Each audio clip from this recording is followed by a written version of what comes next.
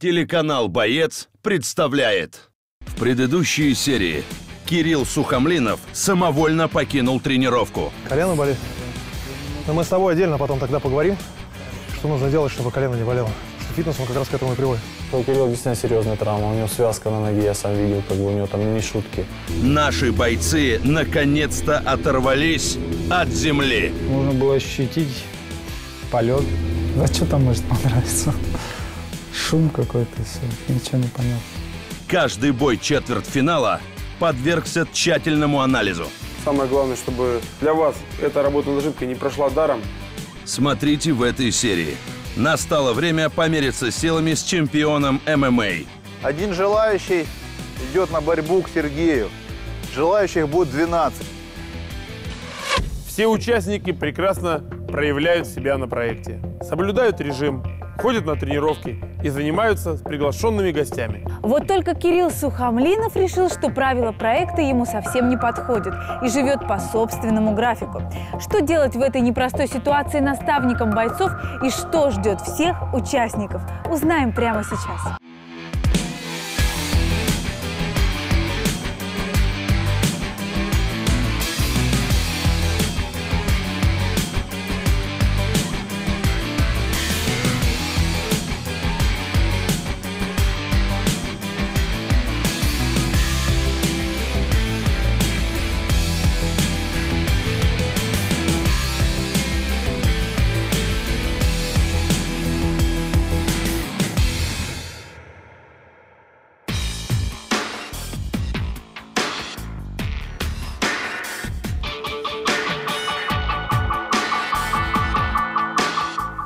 Всем привет.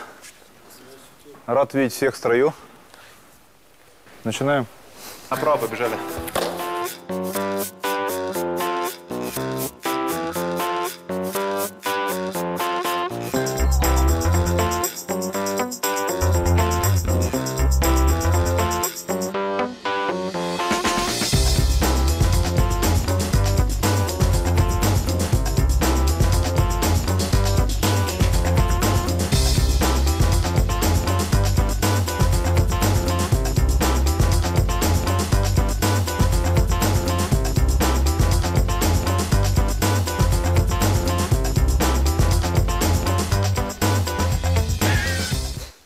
Сейчас потихоньку поработаем по технике. Если есть вопросы, сейчас поотвечаем.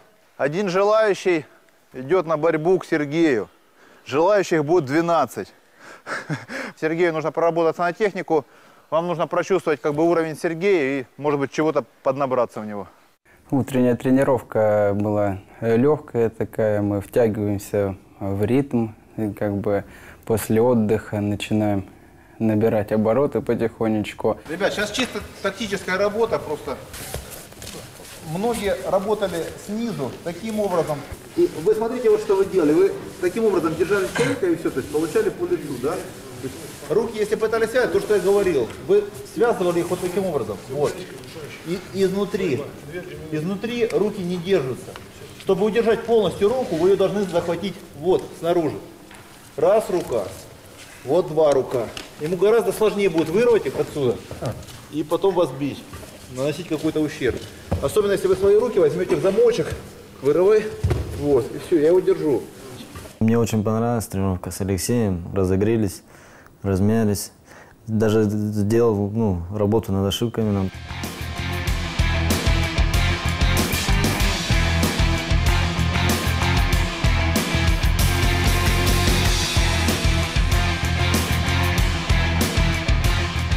Физически, конечно, он намного сильнее, намного опытнее. Но так, для общего развития понравилось, конечно. Все-таки как, не как Сергей Харитонов. Ребят, смотрите. То есть у многих была гильотина, да? Если вас обхватили ножками, нельзя, от- вот нельзя оттягиваться, нужно на- наоборот загружаться на него, потому что удушение происходит за счет того, что он ногами, вот видите, растягивает голову. Он начинает растягивать, а вы его загружаете, чтобы это растяжение было поменьше. Ну, кроме того, что стандартная работа, вы можете захватывать, как бы пытаться удержать руку, вставлять подбородок и так далее, да? Есть работа, держи, либо на оттяжку его кадыка, вот, Вставляем в шею предплечье и работаем сюда. Ему неудобно очень работать. Либо есть такая работа, попытаться взять на обоюдку. И вот если я его голову подтягиваю, вот растягиваем, вот видишь, ему неудобно растягивать. Вот, а если я сейчас чуть над- надавлю на этот самый, он отпускает ножки и отпускает это. То есть, потому что я воздействую именно на позвонок, на позвоночник, на самую макушку. Я не на шею работал, смотрите. То есть не просто вот на шею, а вот, видите, на самую-самую этот, макушку. Чтобы максимальный был э, угол, как бы, я снимал с себя ну, зажим и рук с шеи со своей, и рас- раскрывал, расстегивал, так сказать, замок ног.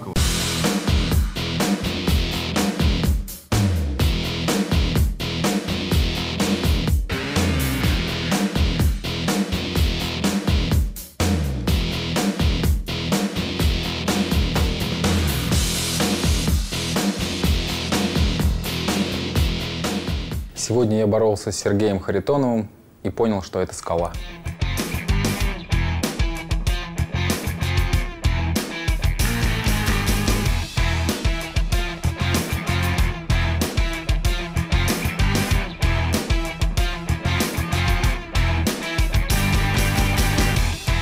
С ним трудно бороться, он ну, больше вяжет, но больше из-за массы. У меня травмирована рука, поэтому я, к сожалению, не смог бороться в полную силу.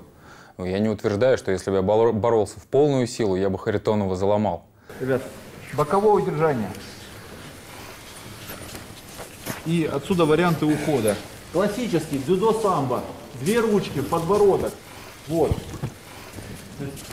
Это не делать, надо тянуть, тянуть, тянуть, потому что он будет головой влево-вправо убегать далее. То есть это делается раз, силовое выдвижение, перекрутились и оказались, как бы сделать такую обоюдку.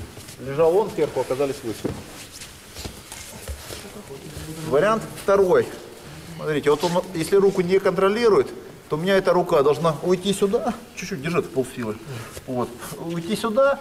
И теперь я что делаю? Я локтем упираюсь ему в корпус и подбиваю его вот туда, вперед. Пока он взлетает, там на какие-то 20-30 сантиметров, я под него засовываю свой корпус. Ап, и все, он приземлился на меня. Я его спокойно переворачиваю, потому что все, что будет лежать на мне, перевернуть уже достаточно легко. Есть такая штука очень нехорошая, неприятная. Называется железное кольцо. Смысл, смотрите, вот корпус идет.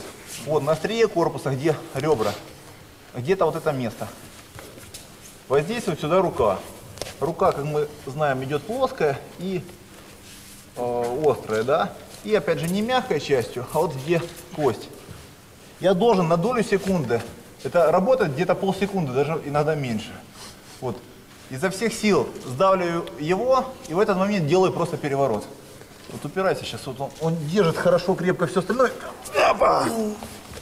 И вот эта штука расслабляет человека на долю секунды. То есть секунда, да? секунда и все, он уже потом сгруппируется, уже не сможете перевернуть. Иди ложись.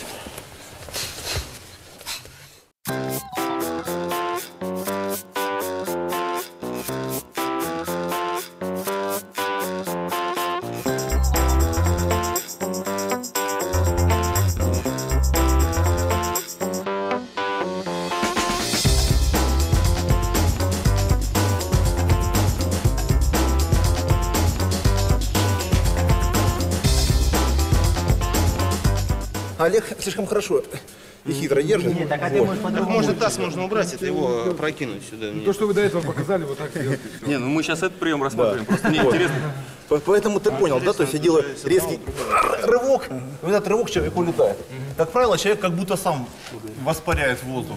Алексей, конечно, постарался сколько можно в этот короткий промежуток нам показать приемы, которые мы именно хотели увидеть.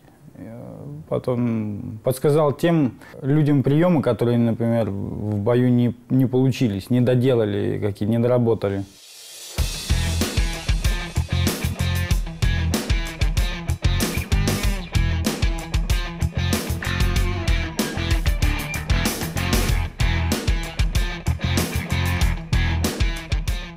Я очень хотел побороться или побоксировать с Харитоновым у меня получилось на сегодняшних тренировках с ним побороться.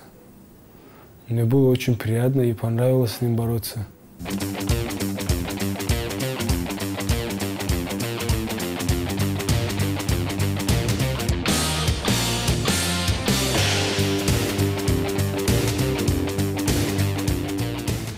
А можно будет один момент спросить? Спрашивай. Удушающий. Там вот так вот висит как с этого положения, перепрыгивает туда и удушающий делает. Сюда. И с этого положения, ну вот так. Надо руку забрать Вот сначала. вот. Да, и как, как он Руку по долу. Не понял, а зачем перепрыгивать? Можно ли? Можно. То есть, если я здесь нахожусь, то я могу просто сюда сработать. И мы, помнишь, то, что было? Отталкивает в бороду, я сбиваю ручку. Это. То есть тут все равно, с какой стороны абсолютно все равно вы будете, здесь вы будете. Я могу оказаться даже вот здесь. Я думаю, вполне может получиться прием, если хорошенько возьму, то есть задушу. Артур. Задушу. То же самое, если я буду то есть, здесь. То же самое, если я буду снизу. Вот смотрите, вот я лежу снизу, он меня толкает. Вот, видите, да- давит, давит, давит, давит. Я раз- сбиваю и опять делаю сюда.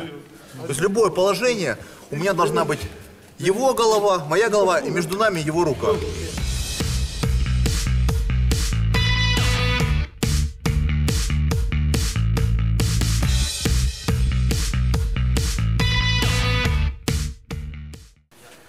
Не, вага повыше. Повыше, смотри, у него, видишь, смотри, где у него шея. На уровне, видишь, чего твоего? А должна быть на уровне твоей шеи. Его голова. Обхватывай вот так. Дай вторую ручку сюда. У нас получается со стойки-то. Спарта рассмотрим. Стойки-то нормально. Дави бородой. Через свою шею. Вот, вот. Вот где-то вот так. И головой продолжай давить до тех пор, пока не постучит. Потому что голова раскрывает его челюсть как раз. Я как-то вот так бразильца задушил. Вот вставай. Смотри. Вот рука. Так же. Посмотри. Кулак в кадык ставил. Вот смотри. Вот, вот так взял, да. И вот так давил. Вот так давил. Вот так давил в кадык, да. Это вот на Грэпплер Квесте меня там в полуфинале заборол такого прикольного бразильца.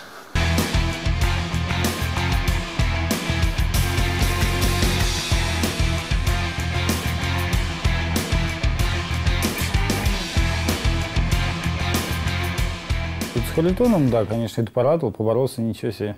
Но видно, что нас жалел, ну, как бы жалел, в общем, просто защищался, можно так сказать, и никаких активных действий не делал. Но все же все равно на камере будет видно, что там Харитонова, что болевой ему тянул. Я вот поборолся с, с низкой. Я в большей степени, я понимаю, что у вас сейчас бои ответственные. Я не могу там сейчас, вот я все-таки, у меня 120 килограмм, я понимаю, я как по возможности, я в большей степени работаю в защите. Просто некоторые есть такие моменты, что надо подсказать. Вижу, что уже как бы растете. Молодцы. На сегодня тренировку мы заканчиваем. Рады были вас видеть. Переодеваемся.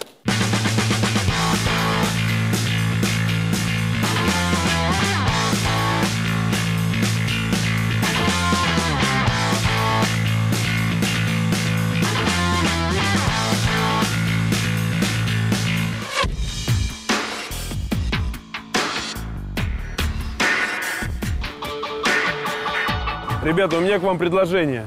Сделать э, сюрприз для нашей очаровательной ведущей Алины Арц.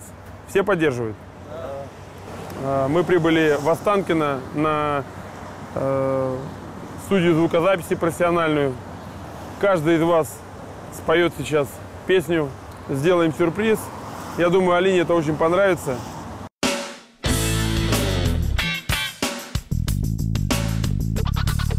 Когда мы приехали сегодня на Останкино, меня удивило задание. Сюрприз Олейников в школе младших классов пел. Так. У нас такая была своя группа. Ну так, в принципе, интересно было.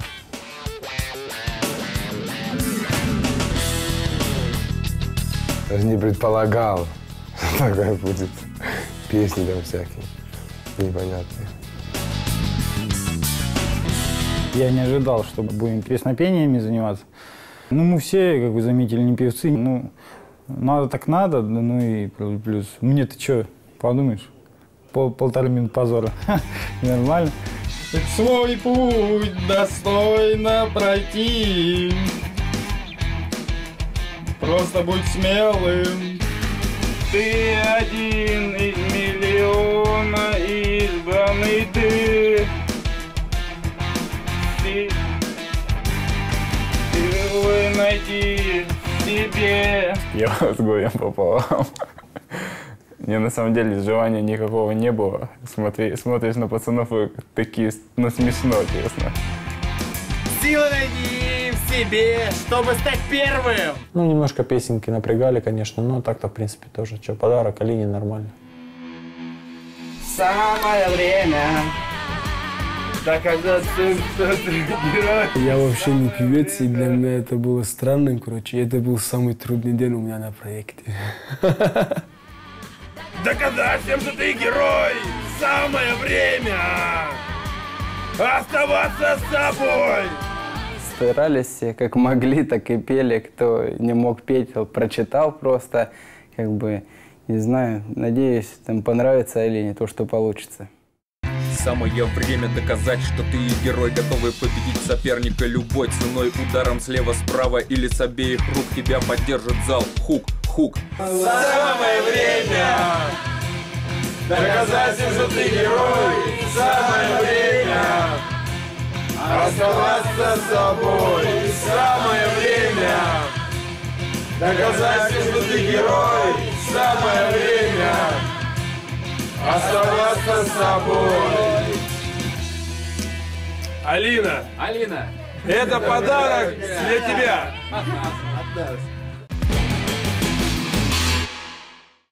Ребята, я хочу вас познакомить с, со знаменитым актером, режиссером, каскадером и основателем ММА в России, моим большим другом Александром Ивановичем Иншаковым.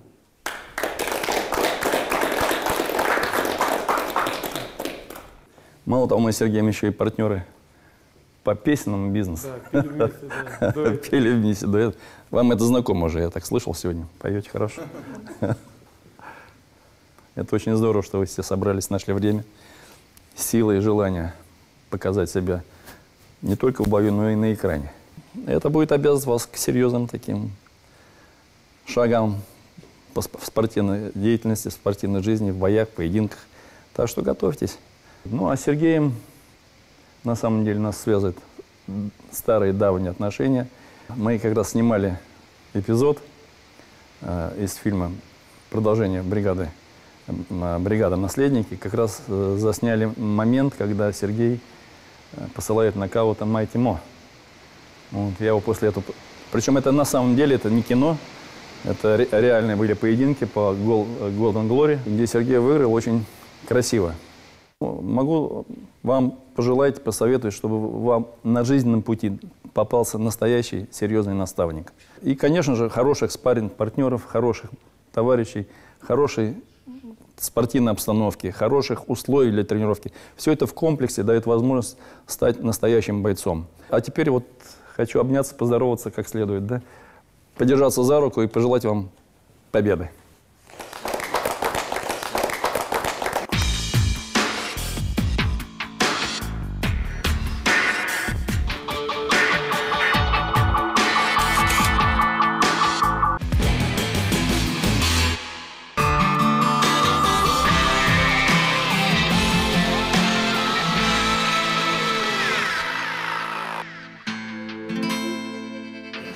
Ребята, привет! Разрешите вас познакомить с заслуженным тренером России по кунг-фу, с главным тренером российской сборной по кунг-фу Камилем Рабадановым. Ну, Камиль, как бы, видно, что опытный. Я точно не могу сказать, сколько ему лет. Очень хорошей физической форме человек находится, видно. Очень, ну, и подвижен, очень, в общем, в тонусе. Я бы ему не дал 54 года, потому что он э, ну, такой подвижный.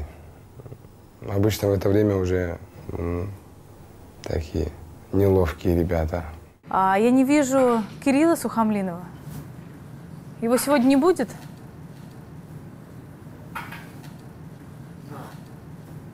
Ясно.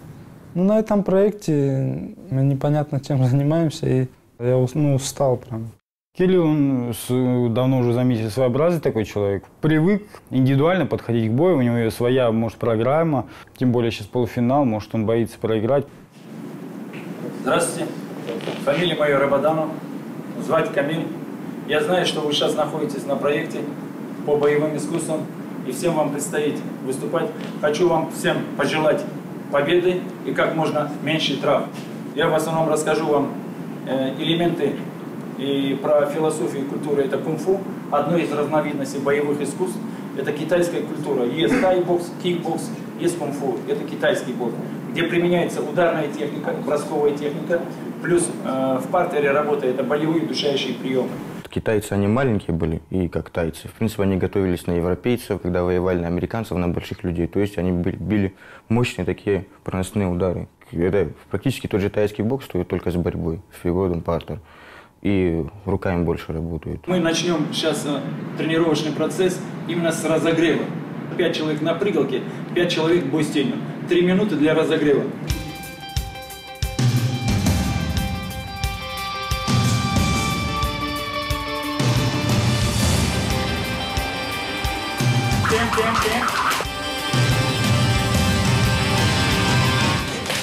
Бой с тенью, побольше передний чек. Почаще корпус. Один, два. Все время играем.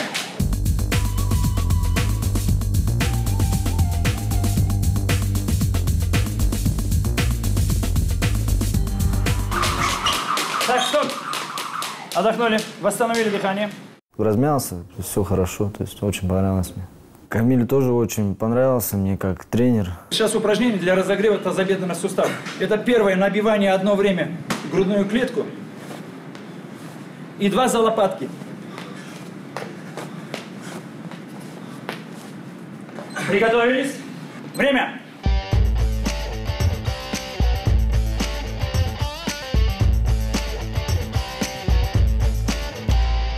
Внимание, сейчас развились по парам. Вот, допустим, оба стоите. Обычно реагируют все на голову, да, нанести удар в голову. Но при этом забывает о ногах. Поэтому сейчас отработка. Первый номер, например, я атакую. Атакуй меня. Видите, я ушел, ногу оставил. А я ушел. И тут же я захожу, встречаю. Вот работа, пошел. Раз, два. И отходи. Успевай отходить. Ушел, тут же. И. Тут же. Да. Работа именно для второго номера. Как только он на меня атакует, тут же я перехожу, тут же ты должен атаковать, чтобы я ушел. 30 секунд работать, без нагрузки.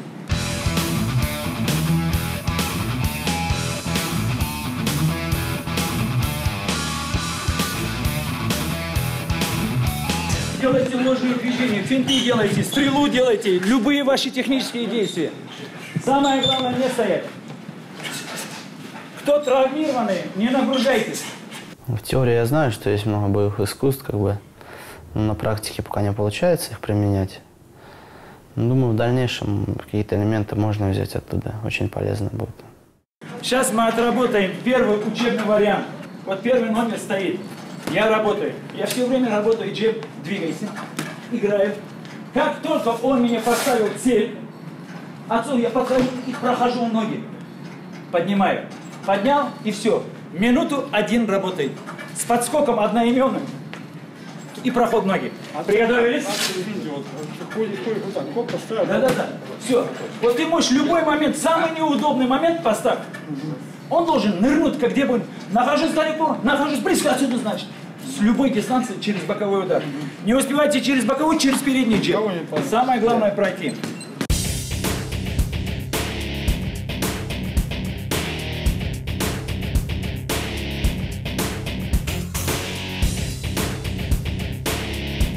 Первая базовая учебная отработка.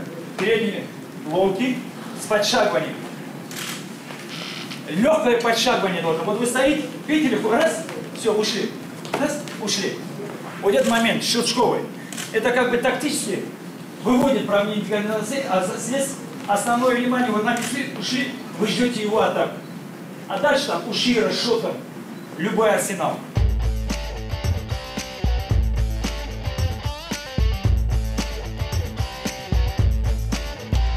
Кабир Абаданов тренировку дал нам как бы такую познавательную, да. Стиль Шусанда больше там присутствовал. Ну, я лично впитал для себя новую информацию, получил много чего интересного. Мы сейчас постараемся использовать контратаку как с ударной техникой, так и с бросковой. Лоу-кик, задняя нога. Внимательно, работаем. Вот здесь вы заметили, он начинает движение. Вы не ждете, пока она коснется от А до Я. Ваша задача, вот он пошел, накажи, вот уже здесь встречать.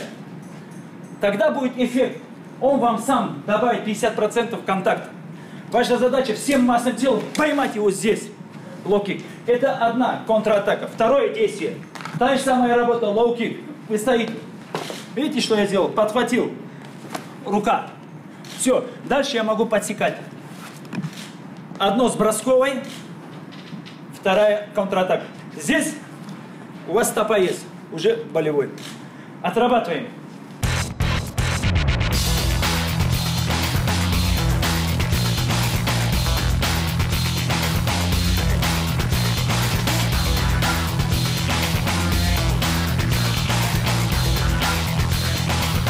Дальше продолжаем.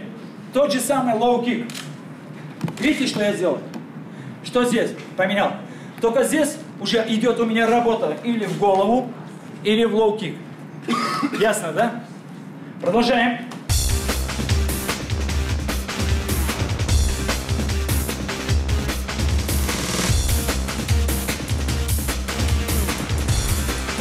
Жалел нас, конечно, физическую нагрузку никакую не давал, но все равно там, ну, быстро двигается там, замечает какие-то там движения. Ну, молодец он. Немаловажный фактор – это функциональная подготовка спортсмена. И каждый спортсмен, я вам расскажу случай, у меня бывал спортсмен, который не обладал ударной техникой. Ну, не мог я его сделать панчером, хотя у панчера и в 12 раунде шанс, шанс, да?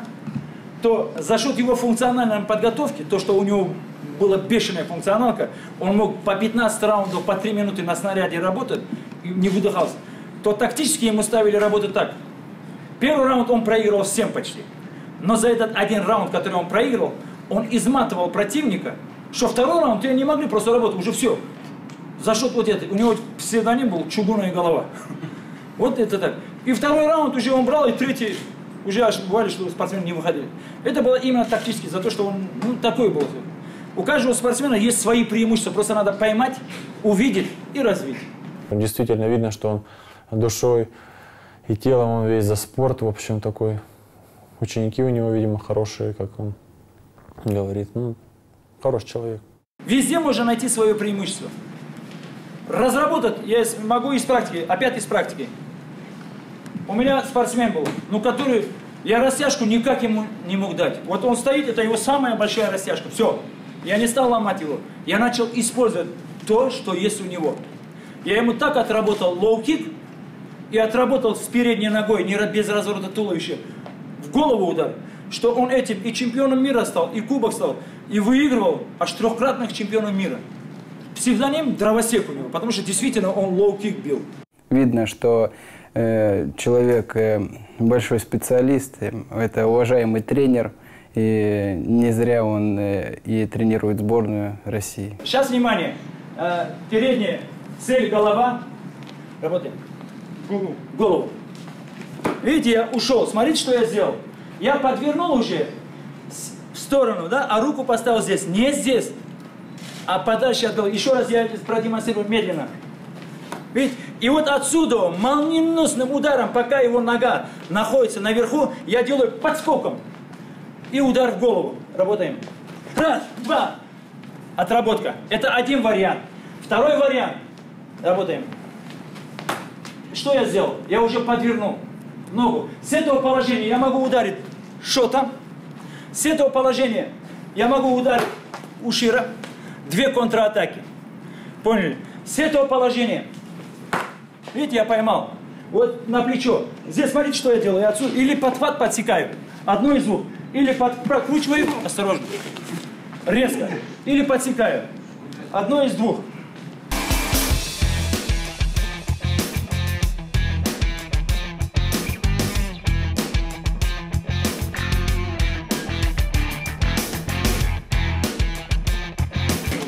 Не просто так, ты видишь, тогда нет. Подкрути. Видишь как? И отсюда зайди. Вышел, как юла. За такой короткий промежуток попытался как можно больше показать. Некоторые упражнения можно поднять себе на вооружение. Так, стоп! Построились.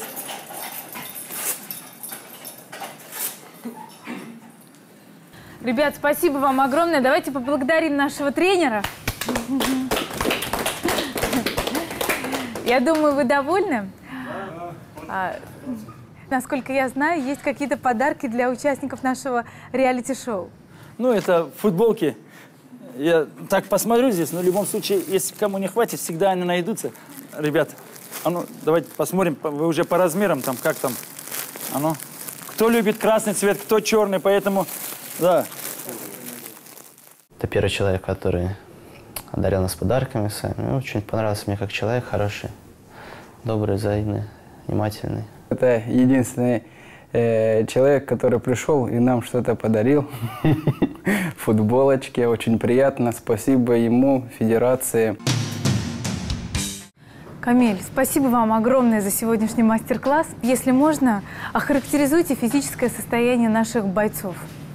Ну, конечно, э, бойцы устали, э, обманывать не буду, они устали. Э, Как говорят, спорт требует жертвы, поэтому те спортсмены, которые сейчас в данный момент участвуют в реалити-шоу, они совершают подвиг. Я сейчас смотрел, конечно, и старался тренировку так поставить, чтобы не загрузить их, понимая то, что перед ними стоит более ответственные моменты. Более ответственные – это значит поединки, схватки, потому что за ними смотрят их кумиры, за ними наблюдают, и им хочется вс- всем победить.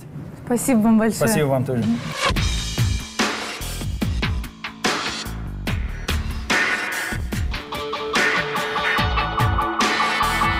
Парни, добрый день. Как себя все чувствуете? Всем привет. Ребят, э, сейчас самое время подвести итоги. Прошел ряд тренировок, прошел ряд испытаний. Тренировки идут, как говорится, своим ходом, но для меня непонятны некоторые ситуации, некоторые вещи. Я знаю, что в коллективе кому-то что-то не нравится. Я вот передаю слово Алексею. Вопрос по дисциплине. Кирилл, вопрос опять к тебе. А твое отсутствие на тренировках. У меня слабость, мне тяжело уже. У нас отдыха нет. Ты попросился у кого-то? Ты помнишь, ну как не знаю, ты помнишь вопросы были вот Рус- у Руслана, да, Наджафалиева? Я не считаю, что он прям виноват во всем. Ну, конечно, можно было бы и подойти и сказать э, руководству, что вот я сегодня не буду. Но в этом он, конечно, не прав. Все на равных условиях. У, там, у Беслана то же самое, там и куча травм, и усталость. У кого рука, у кого ухо, у кого нога и так далее. Мы можем отпроситься. Кирилл, Конечно, домой хочется. Просто если меня достают постоянно, одни и те же лица, уже ну, обстановка такая постоянно, вот это, как не конфликтовать? Я хочу вам сказать, что в жизни приходится где-то переступать много через что. Ну, про- простой пример жизненный. Я поступил в военное училище, попал в сборную команду, был самый молодой. Мне тоже много чего не хотелось поначалу. Э, Я вам приведу пример. Заканчивается тренировка, обычно первый курс моет татами. Хотя все тренируемся мы одинаково, но так заведено, что первый курс моет татами. Я с первого курса один попал. Мне приходилось каждый вечер после всех мыть татами. Я переступил через это. Да это все понятно, просто нам драться, нам по голове получать потом. А мы Не, Кирилл, хотим- Кирилл, Кирилл, драться Коле сейчас с вами, Алексахин, драться Беслану, драться Диме. Скажи из них, кого ты лучше. Согласен, что это неправильно, что нужно все равно держаться каких-то правил. Но если мы уже сюда пришли, то должны придерживаться этих правил. Это не мое дело, это даже не моя весовая категория. Мне вообще без разницы, кто там что делает. Мне, мне нравится, мне, что я в армии привык. Ты какими-то путями непонятными хочешь каким-то образом выделиться. Выделиться не в лучшую сторону, это ненормально. Ты не можешь тренироваться, подойди, скажи, что я не могу тренироваться. Кирилл, это понятно? Да. Хорошо. Я не скажу, что он неуважение показывает, просто он такой человек, характерный такой. По поводу тренировок, конечно, некрасиво получается, что мы тренируемся. Как бы это его дело. Я думаю, ринг покажет, бой покажет все. Переходим к следующему вопросу. Следующий вопрос, в принципе, то, почему мы сейчас собрались, у нас э, объявление пар. Нам предстоит полуфинал. Полуфинал у нас по формуле уже практически профессионально. Это два раунда по 5 минут. И пары распределились следующим образом. 77 килограмм. Это Кирилл Сухомлинов, Беслан Атлешев.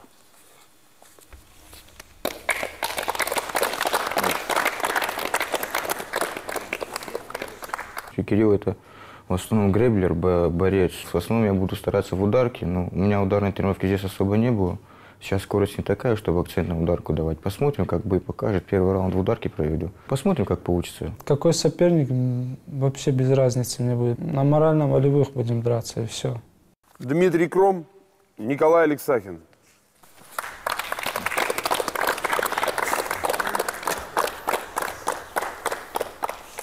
Я, в принципе, догадывался, как бы, что меня поставят с ним. У меня было такое мнение, как бы, принципе, ударник хороший. Смотрел его бои, такой интересный, резкий, очень быстрый. Я думаю, будет интересно с ним поработать. Ребята сейчас остались равные все, примерно все одинаково, равные технически, и подготовка равная. Желаю удачи, Коля. Думаю, у нас хороший, красивый бой получится. 84 килограмма. Это Юрий Щуров и Алексей Ефремов.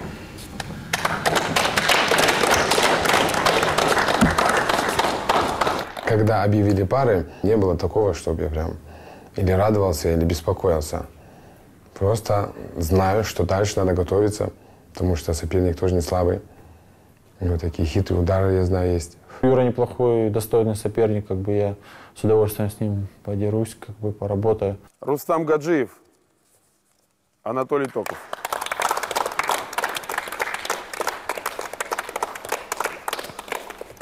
С Лехой с Ефремовым мы с одного клуба.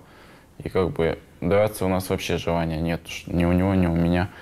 А Рустам и Юра как бы два сильных бойца. И мне как бы ну, интересно, когда сильные бойцы, интересно с ними драться. Тактику м, хочу что-нибудь изменить хочу. Ну, потому что надо меняться, не надо быть однообразно. И наша весовая до 93 килограмм. Это Вагаб Вагабов и Артур Астахов. Вагаб как бы изначально мне показался после кастинга, что он один из фаворитов. Так что ничего загадывать не могу, не буду. Про Артура думаю, ну, хороший парень, тоже ударник больше. Любит, любит и побороться. Думаю, бой будет красивый. Антон Золотов, Олег Новоселов.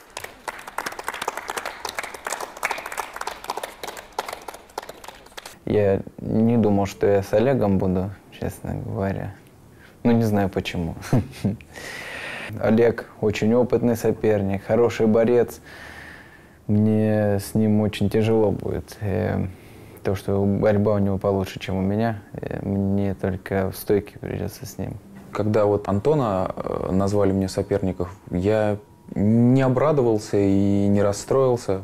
Ну, хорошо, постараюсь показать красивый бой. Хотя у меня бои не очень красивые получаются. Пары мы назвали.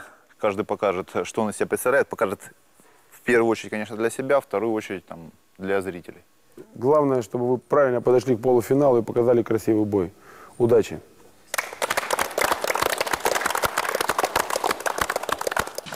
В следующей серии вы увидите